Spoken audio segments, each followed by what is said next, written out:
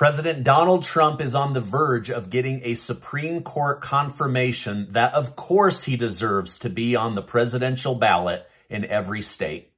The Supreme Court, barring one justice, didn't even care to address the insurrection accusations because it was too silly to entertain.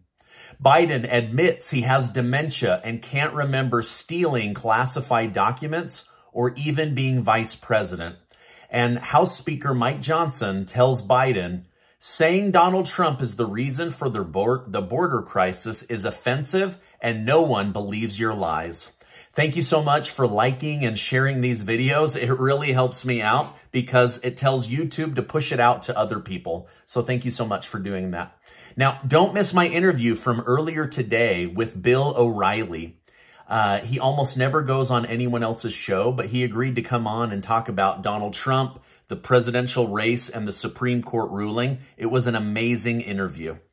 Now, special counsel Robert Hur has just decided not to charge President Joe Biden for possessing classified documents, despite evidence that he willfully retained and disclosed classified information as his vice presidency when he was a private citizen. So why did special counsel Hur not prosecute him? Well, because he's old and has a poor memory. Don't believe me? It's all in the report. He stated at trial, Mr. Biden would likely present himself to a jury, as he did during our interview of him, as a sympathetic, well-meaning elderly man with a poor memory. Now, based on our direct interactions with and observations of him, he is someone for whom many jurors will want to identify re some reasonable doubt. Now, Trump, who was charged for possessing, uh, possessing, doc possessing documents, stated the justice system uh, is showing favoritism. He stated, this has now proven to be a two-tiered system of justice and unconstitutional selective prosecution and persecution. So when President Biden is in trouble, he's an old man with a bad memory. But when he's running for president, he's physically fit and mentally prepared to run one of the biggest countries in the world.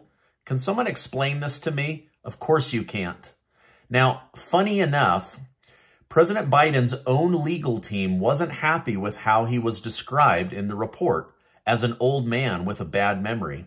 Bob Bauer criticized special counsel Robert Hur for trashing the subject of an investigation with unfounded and irrelevant critical commentary.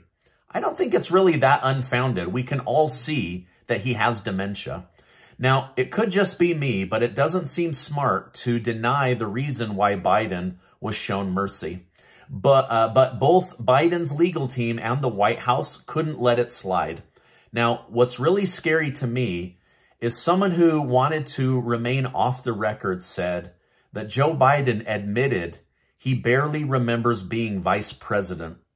You guys, the president of the United States of America has dementia. He knows it. The White House knows it. And you better believe our enemies know it. This is starting to get really scary. This guy doesn't even remember most of his life memories. It's really, really terrifying. Now, House Speaker Mike Johnson has responded to President Biden for ridiculously blaming former President Donald Trump for the ongoing border crisis. Now, according to Breitbart News, Speaker Johnson said the assertion was offensive because it's a blatant lie to the American people.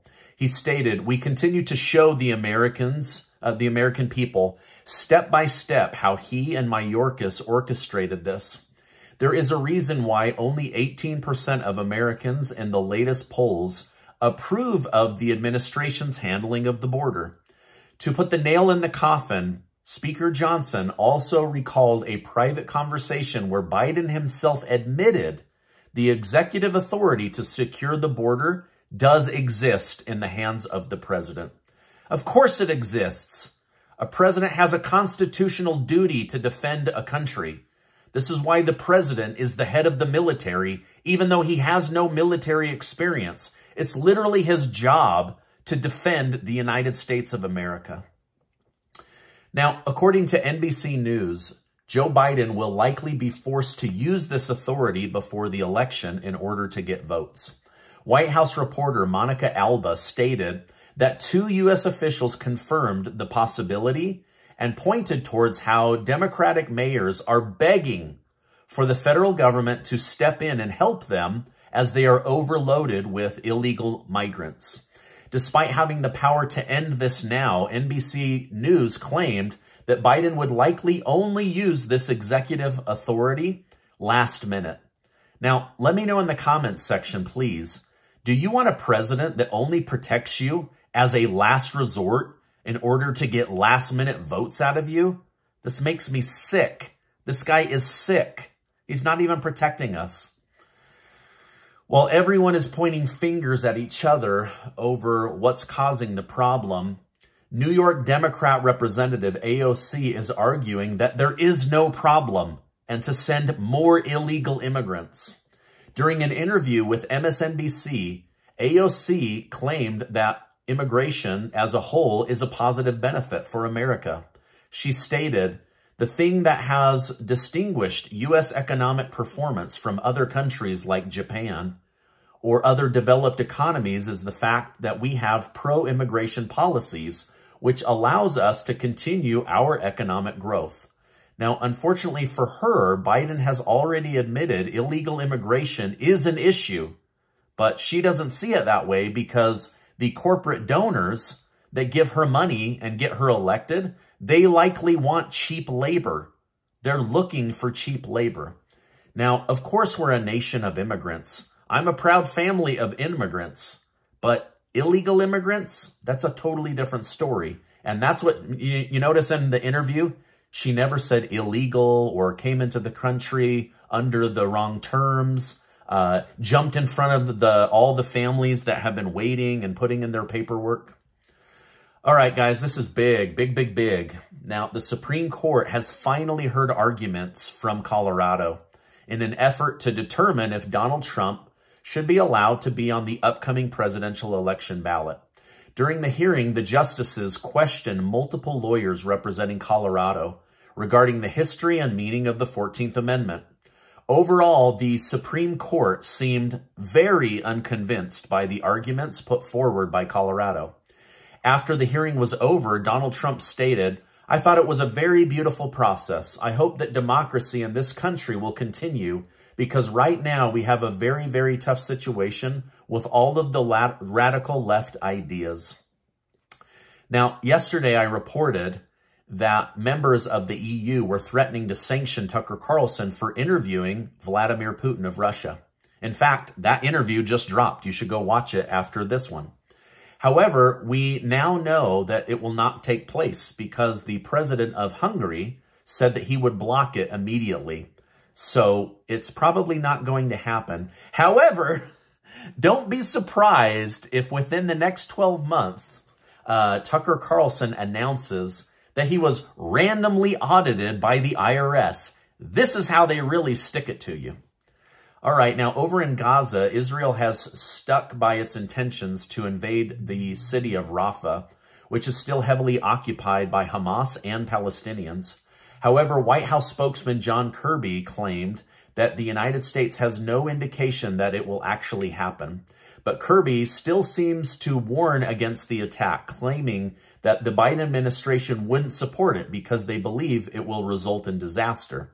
Now, I'm not sure why Kirby is claiming it won't happen because just yesterday, Benjamin Netanyahu of Israel said it's definitely going to happen.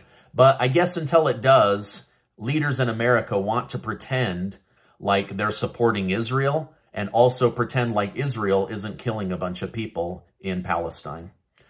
Now, it's official. Ukraine's President Volodymyr Zelensky has officially fired General Zaluzhny, who served as the head of the Ukrainian armed forces. Ukraine's Minister of Defense, Rustem Umerov, stated that new approaches and new strategies are needed to win in 2024. President Zelensky also bashed other Ukrainian officers for leading from the rear. He stated, if a general doesn't know the front line, he does not serve Ukraine. Now, do you think Zelensky made the right move and it's time to get rid of his general? Or is this whole thing just basically over and they're basically like moving chairs around on the Titanic while it sinks? Oh, we better get reorganized over here before the nose dips under the water. All right, now this is my update for today. I want to remind you that you are amazing. Thank you for liking and sharing these videos. Check out this interview with Bill O'Reilly. It is super, super good. Thanks so much, and I'll see you on the next video.